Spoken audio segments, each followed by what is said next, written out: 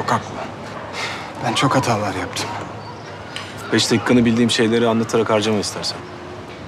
Çok pişmanım. Emine'yi terk ettiğime çok pişmandım. Askerden sonra dönecektim ama...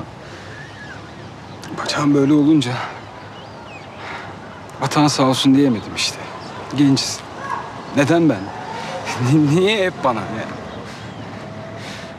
İşte ondan sonra...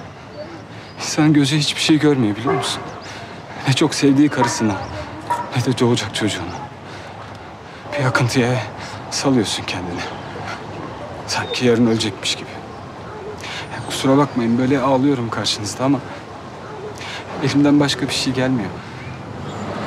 Korkut Bey. Benim Emine'ye kendimi affettirmem lazım. Lütfen bana yardım edin. Lütfen bana inanın. Aileme sahip çıkayım. Yani en iyi siz anlarsınız beni. Siz de Emine de. İkiniz de babasız büyümüşsünüz. Bunca sene evladım babasız büyüdü. Umut da babasız büyümesin. Oğlu babasıyla mı büyüyecek, babasız mı bunun kararını Emine verir. Ben değil.